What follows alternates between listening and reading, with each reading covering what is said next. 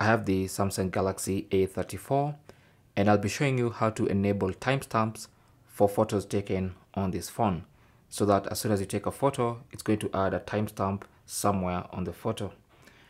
So what you need to do is go ahead and launch the camera application and with the camera app launched tap on the settings icon in the top left corner that opens your camera settings so go to watermark and make sure watermark first of all is enabled or you can tap on watermark and enable it from here. So if it's disabled make sure you enable watermark. And then you have two options for watermark. You can have the model name or you can have the date and time or you can have both if you want to. So for me I'll choose date and time and then I'll uncheck the model name because I don't want the model name on my photos. And as you can see we have an example of what that watermark will look like. So it's going to say the date the day date and time okay?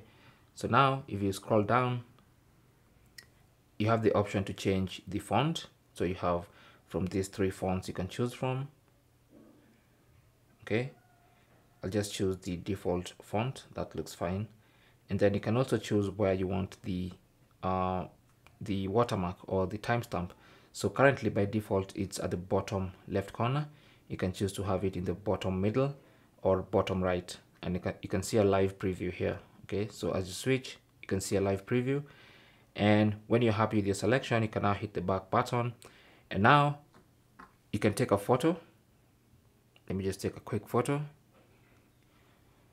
So as you can see in this photo we now have a date and timestamp which is added automatically based on what we selected okay so we wanted it in the bottom right corner there it is and that's basically how you can add a date and timestamp on the photos taken on your Galaxy A34 5G.